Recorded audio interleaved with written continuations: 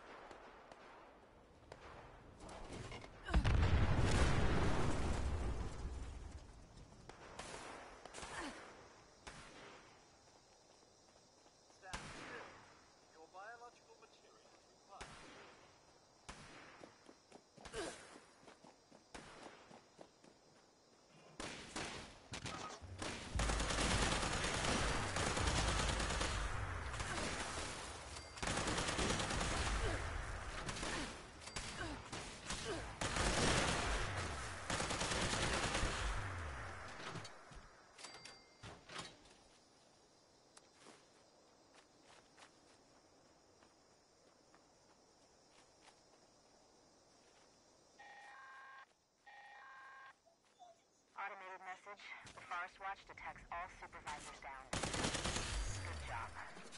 Responder team, proceed to the Ag Center and get to the mainframe. That should keep our people safe in the area.